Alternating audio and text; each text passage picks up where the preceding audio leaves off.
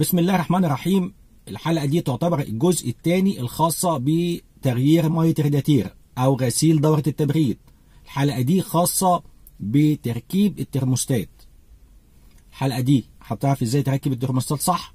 هتعرف الفرق ما بين الجوان أو الحشوة الأصلية أو التقليد. إيه الفرق بينهم؟ الحلقة دي إن شاء الله هتكلم بوضع عملي. هبعد عن المثاليات.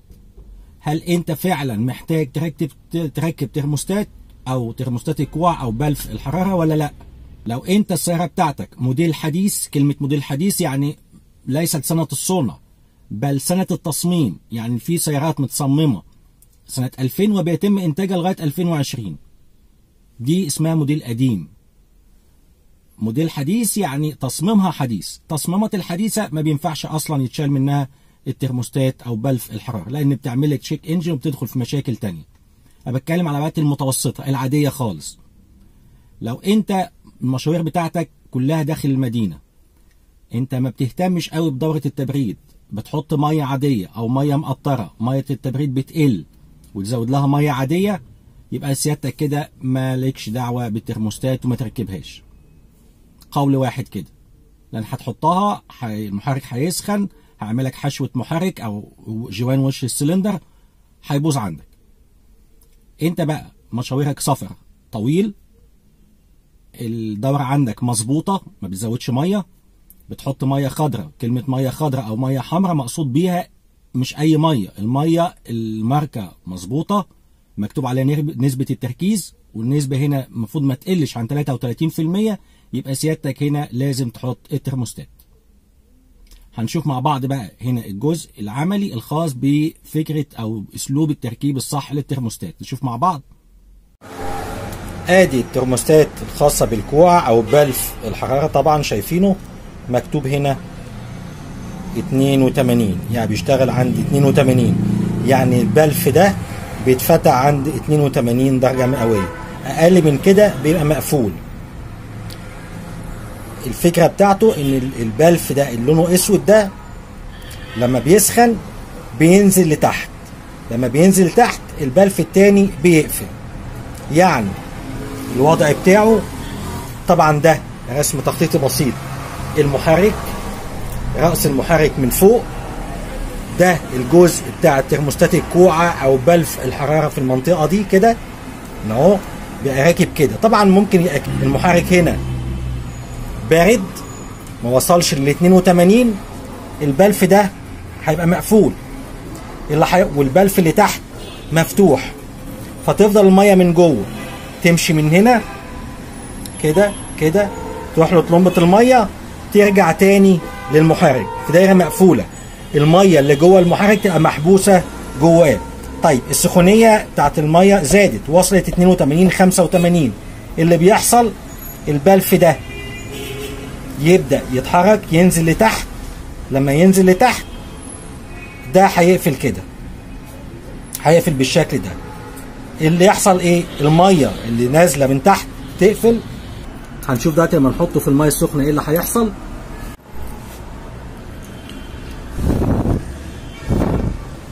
شايفين يا جماعة؟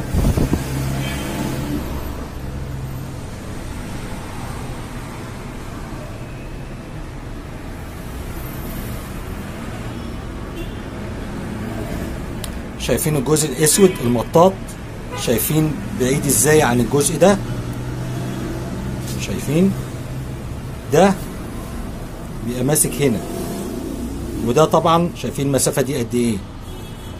لما هتبدأ تنكمش هنشوفها دلوقتي توصل لإيه. طبعا كده دي واحد وتسعين. شايفين كده؟ البلف بعد التسخين. شايفين نزل إزاي؟ أهو. شايفين مفتوح أهو. اللي تحت قافل هنا. بعد شوية هيبدأ ده يبهد يبدأ يطلع فوق هنلاقي دي طلعت فوق كده. يعني هو بينزل ويطلع يقفل تحت ويفتح فوق هي دي الفكرة كلها. طبعا إحنا دلوقتي هنبدأ نغير الترموستات. مكان الترموستات فين؟ ده رادياتير آدي الخرطوم الكبير اللي داخل بيدخل مية لريداتير تمام؟ سواء بقى في الجنب اليمين الجنب الشمال في النص هنمشي معاه. نمشي كده كده كده كده كده. دخل هنا.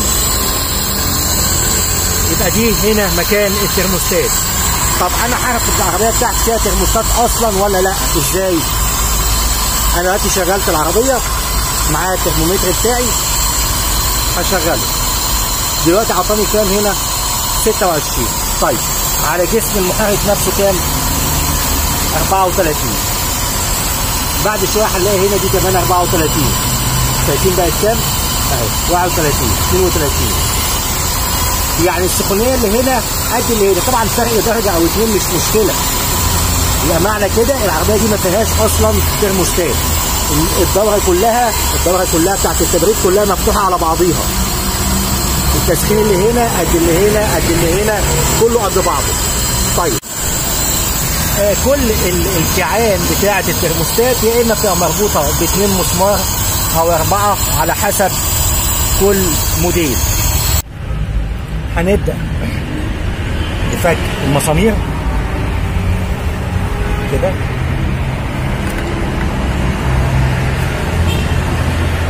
شايفين المية بدأت تطلع كده.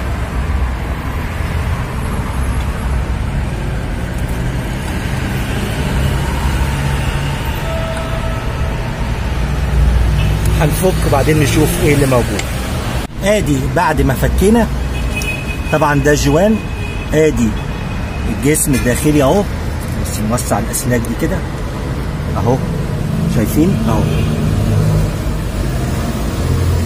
المنظر الداخلي أدي الجوان. أدي الترموستات بتاعتنا. طبعا زي ما إحنا شايفين لما يبقى في نوتش كده من فوق أو علامة زي دي كده زي سهم هنلاقي هنا زيها. يبقى نلتزم بوضع دي هنا. وغالبا لما بيكون في حاجة زي اللي أنا دي الحتة دي اللي بتتهز دي دي بتبقى دايما فوق بالظبط كده. دي عشان طلوع الهواء من جوه ال block لبره ال block block المحرك نفسه. يعني تسمح لو في فقاعات هواء ولا حاجة والبلف ده مقفول الهواء يطلع من الفتحة دي على ال ال ال hose أو الخرطوم ده لريداتير طيب هنشوف بقى مكان ال ال ال الحتة دي كده تركب إزاي.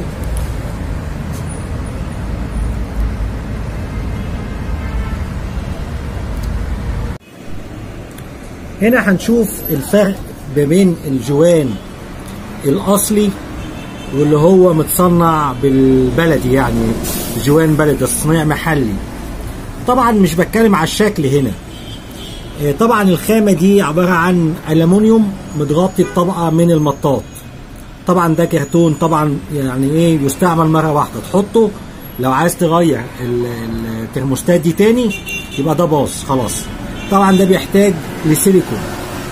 طبعا ده بيتحط على طول مباشرة كده. أنا اللي يهمني هنا بقى مش الكلام ده اللي يهمني هنا الدقة بتاعة التصنيع. طبعا شايفين هنا الجزء ده كله قطعة واحدة. هنا شايفين في يعني خدود في النص. ليه ده بقى كده؟ علشان دي لما تتحط كده شايفين بتدخل إزاي؟ طبعا هنا مفيش الكلام ده لأن كله قطعة واحدة. بس ده حبيت بس إيه ملحوظة احب إيه تشوفوها عشان الجزء طبعا ده جزء مهم ولازم الاجزاء كلها تكون اصلية.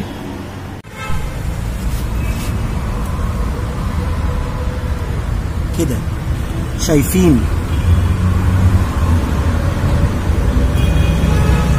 اهو كده. البلف أو الترموستات راكبة في مكانها بالظبط زي ما إحنا شايفين. الجوان بتاعنا نحطه. الجزء ده هيبقى فوق.